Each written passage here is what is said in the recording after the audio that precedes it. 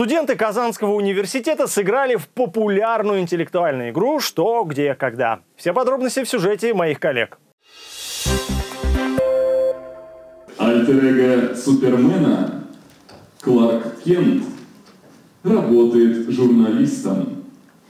Спортивная версия классической телевизионной игры прошла в стенах КСК КФУ «Уникс» и отличилась большим количеством команд. Всего их 30. Участие приняли студенты различных курсов и институтов Казанского университета. Так им удастся продемонстрировать свои знания в совершенно разных областях. Сегодня ведущим э, турнира будет Роман Новиков, заместитель руководителя брейн-клуба КФУ, и, соответственно, пакет вопросов всегда подбирает он. Какие-то вопросы он пишет лично, какие-то, ну, то есть они авторские, э, какие-то вопросы э, подбираются из базы «Что, где, когда», наиболее, на его взгляд, подходящие к так скажем, вопросы, которые могут играть и опытные игроки, и новички, чтобы ни у кого не было такого, что я ни на что не ответил.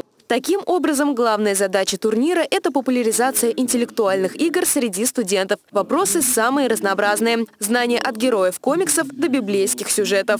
Интересно попробовать свои силы, что вообще здесь будет, что из этого получится, так как большинство из нас играет в первый раз сегодня. Претендентов очень много. В любом случае будем стараться. Надеемся, что покажем достойный результат.